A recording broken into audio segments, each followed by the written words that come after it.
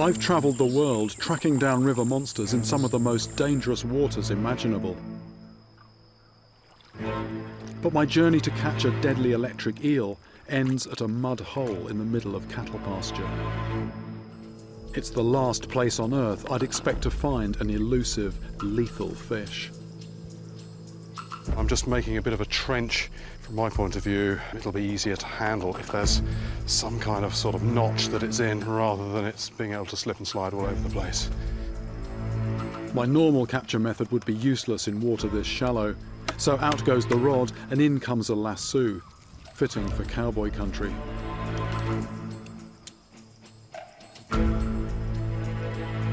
Because electric eels don't rely on physical strength, pulling it out of the water shouldn't be that hard.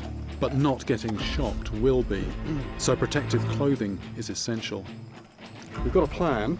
The plan is not so much to, to sort of go after the head with the noose, but to position that and then get it to go through the noose.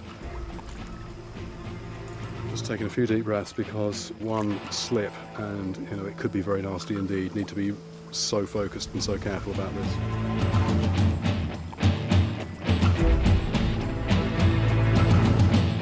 An eel this size can deliver a shock of 650 volts. That's enough to stop my heart in seconds.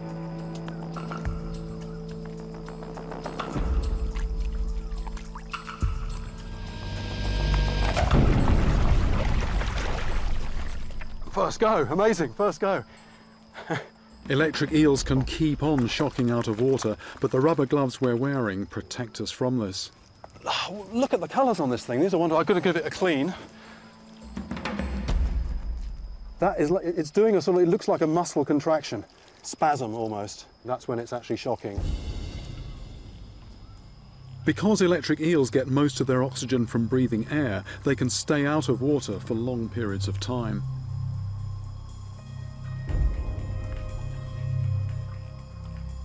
That's five foot ten and a half. That's pretty much exactly the same as, as me. This is exactly the same size as the eel that killed Francisco, the 21 year old man who died in the tiny pond near Villanova.